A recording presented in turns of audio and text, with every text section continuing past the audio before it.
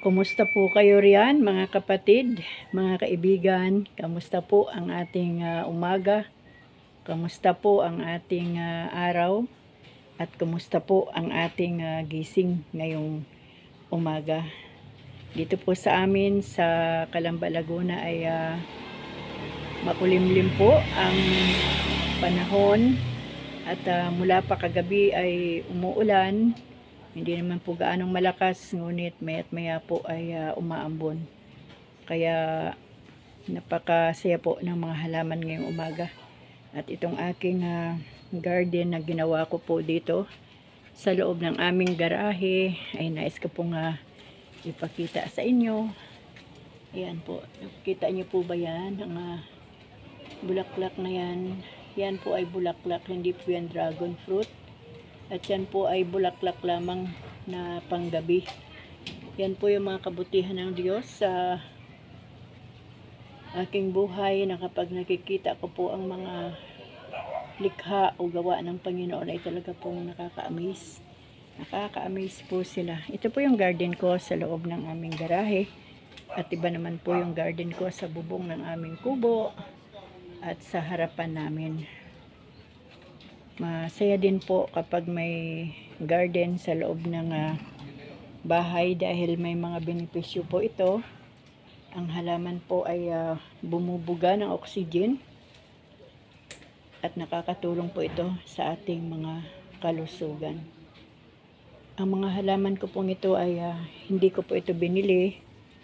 Ito po ay ah, binigay lamang o hiningi ko din sa mga kaibigan. Palitan lang kami ng aming mga halaman. At yan po ay ah, naalagaan kong mabuti, iningatan, diniligan, nilalagyan po ng fertilizer na bitchin. Kaya po, nananatili po sila dyan. Ganon din sa labas. Ganon din po doon sa bubong ng aming kubo.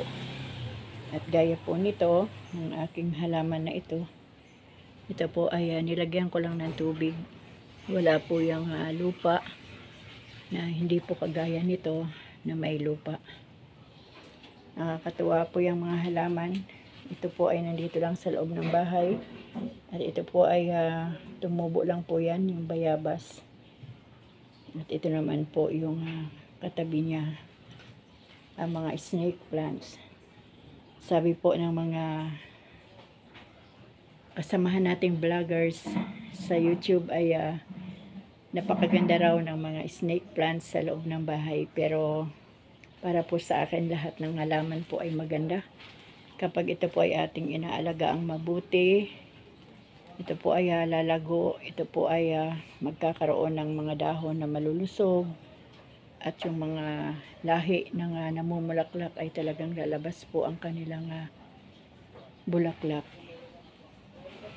At salamat po sa Panginoon dahil kahit ah, maulan ay meron po akong ah, kunting hardin o munting hardin dito sa aming ah, garahe. Pwede po akong ah, tumambay dito. Ito pong aking ah, munting hardin dito ay ah, nagsisilbi din po itong aking ah, prayer garden. Dito ko rin po tinatanggap ang aking mga bisita at masaya po kaming ah, nagkukwentuhan sa mga kabutihan ng ating Panginoon sa aming mga buhay. Alam niyo mga kapatid, mga kaibigan, masaya po sa damdamin kapag na-appreciate po natin ang kahit mga simpleng bagay na ating nakikita o kahit man yung mga munting bagay na ating nakikita. Kahit yung mga minsan ay mga sira-sira ng mga kagamitan natin, Gaya po nito, ayan, bakbak na po yan ang kanyang mga ah, pintura o yung ah, coat na ah, plastic sa kanyang ah, bakal pero napapakinabangan pa rin po. Maganda po ito kasi kahit mabasa po yan ay okay na at salamin naman po ang kanyang takip sa harapan, ang kanyang patungan. Ang mga bagay po na simple sa ating buhay, na ating nakikita, nakakasama sa loob ng bahay araw-araw, ay ito po yung mga bagay na ibinigay sa atin ng Panginoon, mga nilikha niya, lalo na po ang mga halaman, upang maging ah, kaaliwan po ng ating mga buhay.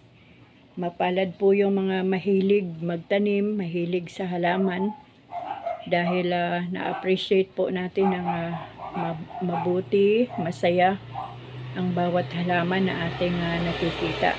Lalo na po yung mga halaman na talagang simula sa buto na ating itinatanim, nagkaugat, nagkadahon, nagkasanga at namunga.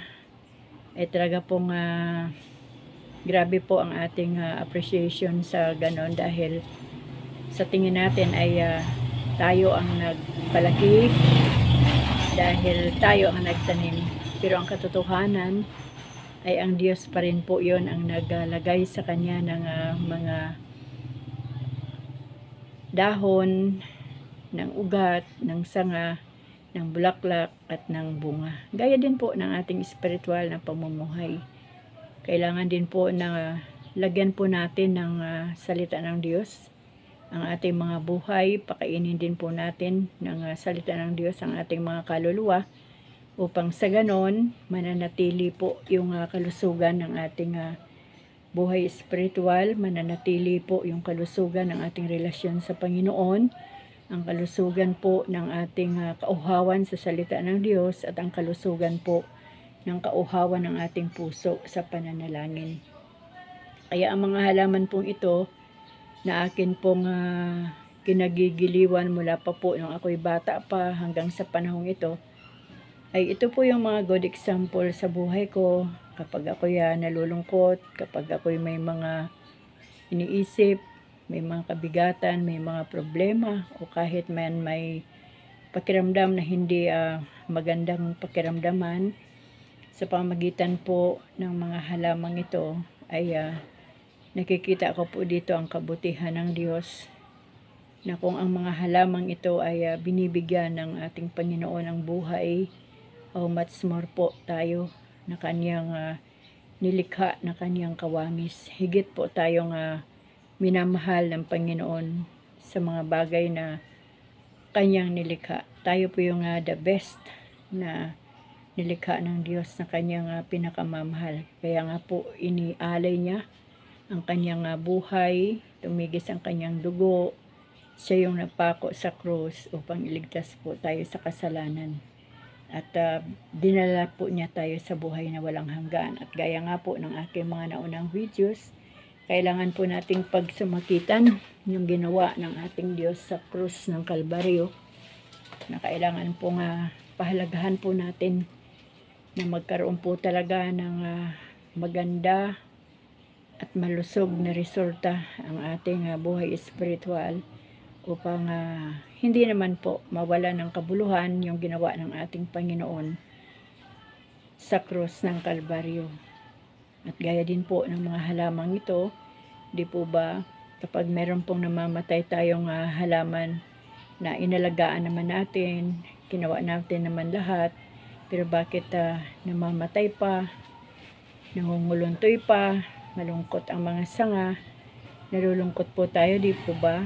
Masigit po ang Panginoon kapag may nakita po siyang kanyang mga anak na nangunguluntoy ang spiritual life, nangunguluntoy ang prayer life, nangunguluntoy ang pananalig sa Diyos. Kaya mga kapatid, mga kaibigan, lagi po tayong magbasa ng salita ng Diyos upang ah, suportahan po o masuportahan ang ating mga pamumuhay espiritual para lagi po tayong malusog, lagi po tayong masaya at excited na magkukwento ng mga magagandang bagay o mga patotoo natin na ginagawa ng Diyos sa atin sa bawat araw.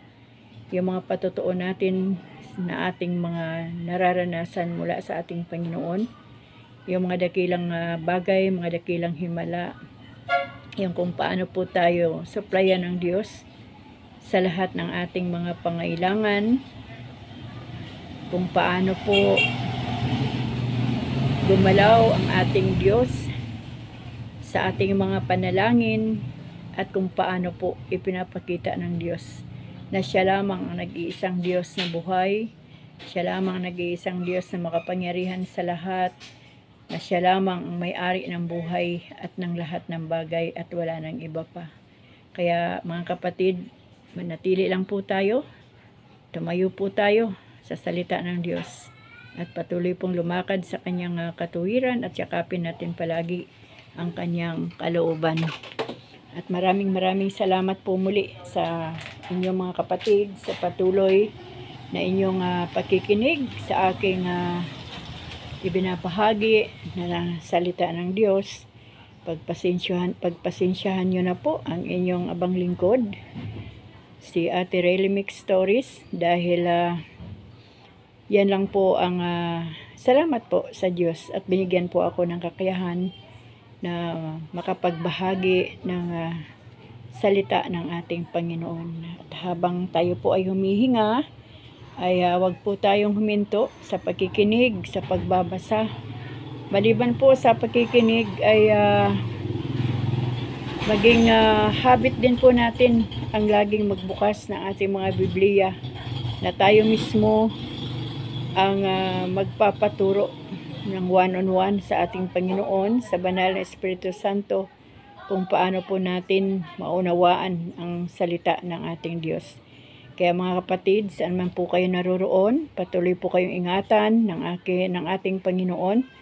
At ah, hindi ko na po kayo isa-isahin, lahat po kayo ay laman ng aking panalangin. At ah, shout out po sa inyong lahat, shout out po sa lahat ng aking ah, mga subscribers. Sabi nga po ng ah, design ng ah, mga vloggers nating iba eh, na kasamahan eh, 2 million in the house. Yan, by faith po yun. Kaya sa lahat po ng aking mga subscribers, sa lahat po ng listeners, at sa lahat po ng makikinig pa, isang ah, masaya at magandang araw po sa inyong lahat. At sa lahat po ng aking ah, mga mahal sa buhay na nariyan po sa ibang bansa.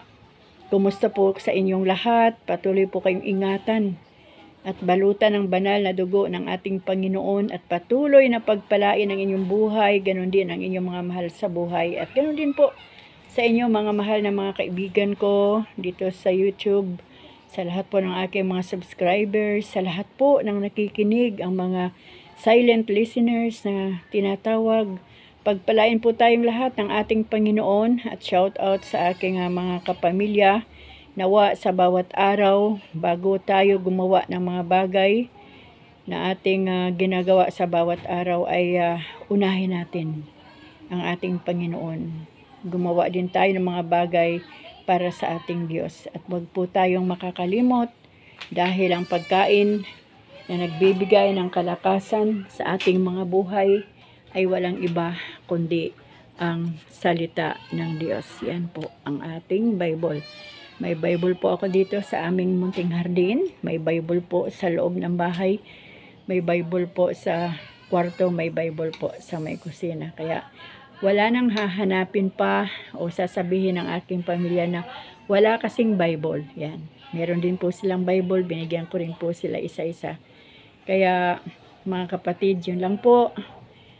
Ah, manatili po tayo sa salita ng Diyos at manatili po sa ating mga buhay ang ating pagkilala, ang ating pagpupuri, ang ating pagsamba sa ating ah, nag-iisang Diyos na makapangyarihan sa lahat, walang iba kundi ang ating Panginoong Heso Kristo. At patuloy po nating ibahagi, ipamalita ang good news na si Jesus, ang Panginoon, tagapagligtas ng ating mga buhay at sa Kanya nagmula ang buhay na walang hanggan. Maraming salamat po mga kapatid uli. Lagi kong binabanggit ang maraming salamat dahil kung wala po kayo na nanonood o nakikinig ng aking video ay wala po itong kabuluhan. Pagpalain po tayong lahat ng ating Panginoon at samahan niya sa lahat ng ating pupuntahan, sa lahat ng ating ginagawa. Amen.